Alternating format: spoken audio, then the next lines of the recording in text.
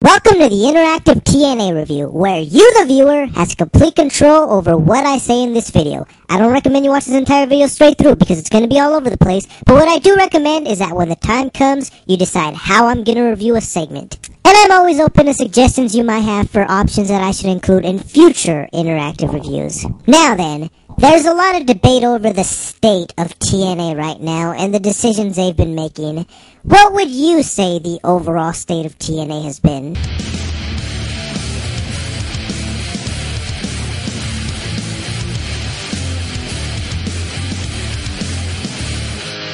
I'm really starting to regret getting Bound for Glory tickets before I got SummerSlam tickets because SummerSlam looks like freaking WrestleMania right now. And I have to struggle just to get those tickets because I already spent money on Bound for Glory, which from the looks of it is going to end up being the worst freaking show of all time. TNA is in such a crappy state right now. Not just on TV, but behind the scenes too. They treat their talent like crap. Half their roster is dying right now. Their highest paid workers are getting arrested every five minutes, and the company can't even afford entrance videos anymore. Maybe Bruce Pritchard wasn't the problem. Maybe it's just TNA themselves that don't know how to put on a watchable product because this crap has been going on for years. The exact same complaints that I've been making since last year are still there. Don't believe me? Well, you can go ahead and hit that instant replay button right there and compare everything that I said back then to the state of TNA now. And I guarantee you'll see no difference.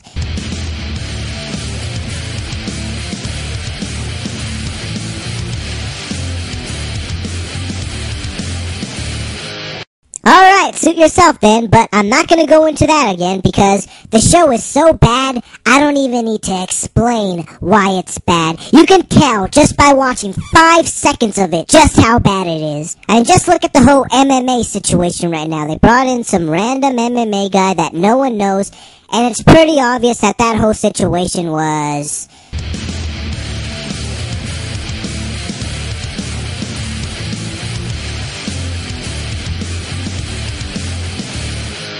let me tell you what I used to love about TNA. They used to have a little something for everyone, the perfect mix of wrestling, entertainment, sexiness, hardcore action characters, interesting storylines, wrestlers that you cared about. The TNA of today is nothing like that. It's been drained of all the life it used to have. Their storylines are boring, predictable, and repetitive. I mean, all you gotta do is look at each of their divisions to see how screwed up their roster is. They don't have a tag team division anymore. They have two real tag teams. That's they don't have an X division anymore. It's just random guys that we know nothing about that show up on TV occasionally and get squashed by whoever the champion is. In just one year, they lost double the amount of knockouts that they have left on their entire roster right now, and they're going to continue to lose more. Their main event scene has gone and dough. I mean, they have the right talent, but the booking is just bland, uninteresting, and repetitive. It's just the same feuds over and over and over again. Then on occasions you'll get a mid-card feud that's not for a title that ends up just being a waste of time. That's the TNA we have today. The Bound for Glory series was just an excuse to waste TV time and compensate for their lazy creative team's lack of ideas. Just like usual, they'll present something that's interesting and different, but eventually find a way to drain that idea of all the life it used to have. That's part of why I don't care much for all these up-and-coming stars because once they reach a certain level at TNA, they're not going to get any more interesting. Hell, most of them aren't even interesting now, no matter what they do. Just look at their gut check segments. In six months, they've had one standout performer. That's it. Everyone else that tried out is forgettable. And you can argue that WWE is worse, but the difference is I care about more than just three people in WWE. And just look at the whole MMA situation right now. They brought in some random MMA guy that no one knows, and it's pretty obvious that that whole situation was.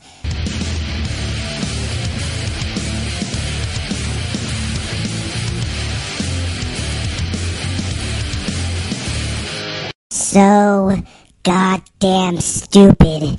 When is TNA gonna get it through their thick frickin' skulls that this crap never works? It never frickin' works! Your ratings will always be at 1.0 forever, ever, ever, ever. Nothing you do will ever change that. To all the people trying to say, oh, well, it's Spike TV's fault. They're just trying to promote Bellator. TNA had nothing to do with it. What fucking difference does it make whose fucking fault it is?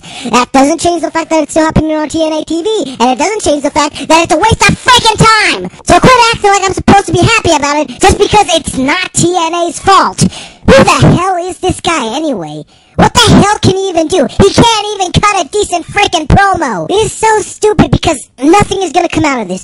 MMA fans aren't to start watching TNA because they're MMA fans. The only reason they watch MMA is because it's not fake wrestling. And wrestling fans aren't to watch MMA because MMA is freaking boring compared to fake wrestling.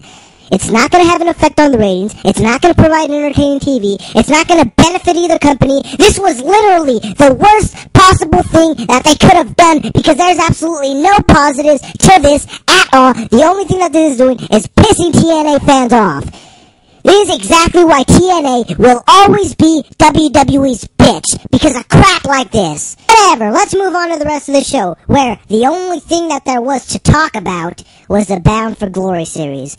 And so far, this whole thing has been.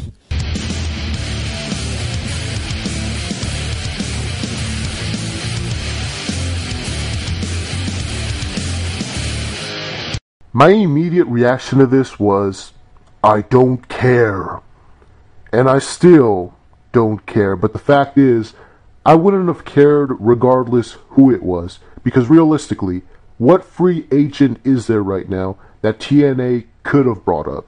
That would have been a big deal. There's no one. That's why when I first saw the August 1 package, I knew from the beginning, no matter who they brought in, it was going to be a disappointment. You know, TNA can't do what WWE does. When WWE does this sort of thing, it really keeps you guessing. You know it's going to be a big deal. TNA can't do that. So the fact that they even tried, they already set themselves up for disappointment. And since my standards were so low, I wasn't disappointed by this at all. Well, I mean, at first I didn't even know who the guy was. I was like, oh, yay, it's some random indie guy. But no, it's another MMA guy, which is probably worse than the random indie guy because at least the random indie guy would be able to wrestle and have storylines, whereas this MMA guy can't do anything. He can't even cut decent promos for Christ's sake. But it's really like whatever. You know, TNA has done this a million times. It's never worked any of those times. But who cares? You know, this is just another part of the show that we can all just skip over every week. If it makes TNA happy, thinking that this is a big deal, and if it makes Spike TV happy, really thinking that this is going to do anything when it's not, then good for them. I don't care, and I don't think anyone else should either. Anyway, let's get on to the night show. So the only real talking points that I guess you could make out of the show were from the Bound for Glory series tonight. So what would you say the Bound for Glory series has been like as of lately?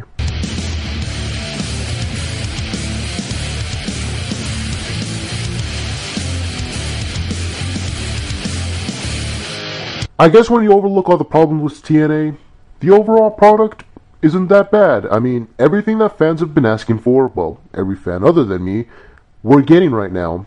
The push of new guys, better matches, not as much focus on Hulk Hogan and Gail Kim in the spotlight because I know internet fans can't get enough. She deserves to be in the spotlight all the time.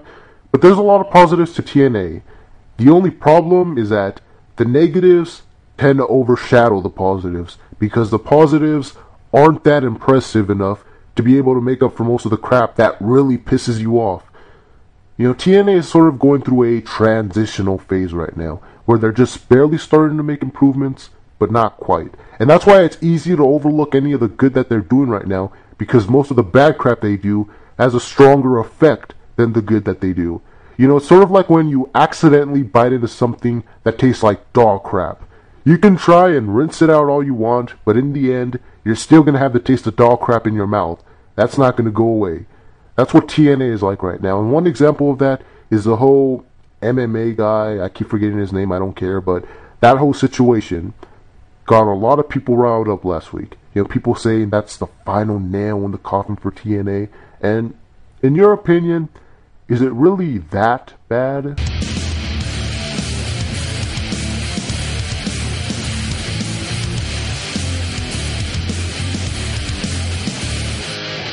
Is it any coincidence that the most boring time to be a TNA fan is during the Bound for Glory series? Seriously, wrestling could not possibly get any more stale and boring than the Bound for Glory series. This is like a prime example that you always use whenever you want to defend something that sucks. It's like, oh man, Hornswoggle won the Raw title. Well, at least it's not as bad as the Bound for Glory series. That's literally what it's like. This whole series is nothing but a waste of time. You get three, maybe four good matches out of the entire thing, but the rest of it is just pointless filler garbage that we shouldn't even give a damn about because we know that 10 of these guys have absolutely no chance of winning. So screw all this. Let's just hop into the knockout portion of the show, which, once again, saw Fail Kim weasel her way back into a knockout title match. And you guys know that when it comes to Fail Kim, I'm her number one.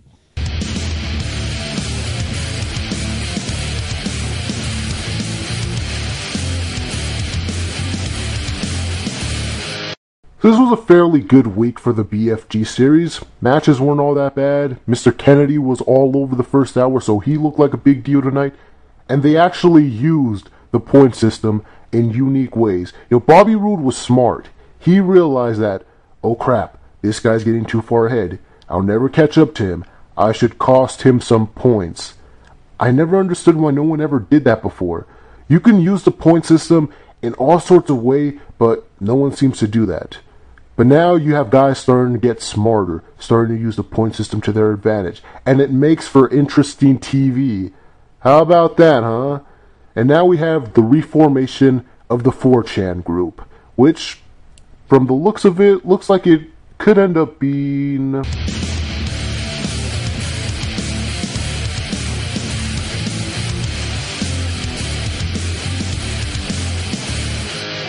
It's obvious that this group is going to crumble apart before the end of this thing because of all their egos, but as a temporary thing to help boost interest back in the BFG series, to make us think that a stable is going to start taking over the whole thing, it works. And these are the most entertaining guys on the roster, and based off tonight, they're the smartest guys on the roster, so this should be entertaining either way. So let's move on to the knockout segment of the night, where, once again, the knockout champion and the championship challenger are both overshadowed in favor of Fail Kim. And you guys know that when it comes to Fail Kim, I'm her number one.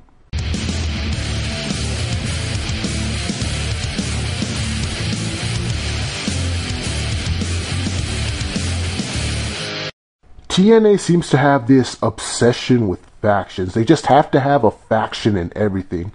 And this is another pointless faction because we know damn well none of these guys are going to win. These are pretty much the jobbers of the BFG Series 2. All they need is Abyss and Chris Benoit, aka the broomstick guy. So yeah, this is just another pointless faction and another pointless filler thing for the BFG series, but whatever. So let's move on to the knockout segment of the night, where, once again, the knockout champion and the championship challenger are both overshadowed in favor of Fail Kim. And you guys know that when it comes to Fail Kim, I'm her number one.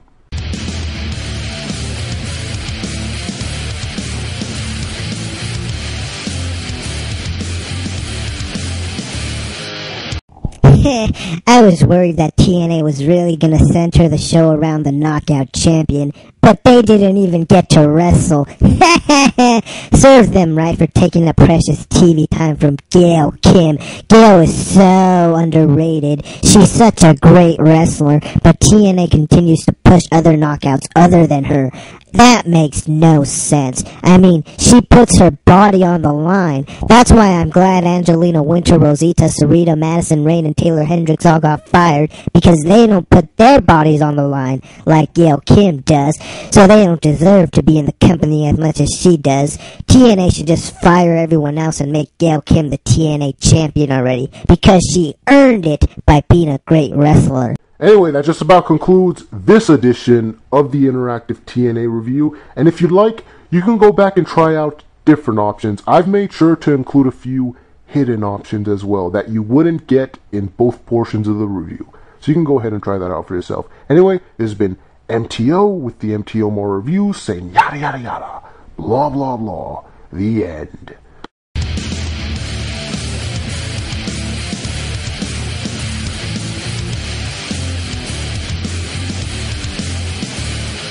The only redeeming quality to this is that they're getting this out of the way early so that Phil can stay the fuck off bound for glory. But knowing TNA's gay obsession with this bitch, it's just gonna lead to her getting even more fucking feud handed to her. Wow. Remember when she was champion for nine months? Remember how every other heel knockout got fired because TNA couldn't fit them into a feud with her? How come it was so impossible for TNA to come up with any storyline ideas for any of their other knockouts back then that didn't involve the title, yet today, Phil Kim is still the only knockout that can get a decent feud even though she hasn't been champion for a fucking year? Why is it that she's the only knockout that doesn't need the title to be the center of the division? You know, and people say Velvet Sky played politics just because she won the belt once, even though Kim was still overshadowing her. And people say the Bellas use politics just because they're on TV. But oh, Kim, she earned everything she got. Whatever, fucking marks. So that just about concludes this edition of the Interactive TNA review. And if you'd like, you can go back and try out different options. I've also made sure to add a few hidden options as well that you wouldn't get in both portions of the review. So you can go and try that out for yourself. Anyway, this has been MTO with the MTOmar Reviews saying yada yada yada, blah blah blah, the end.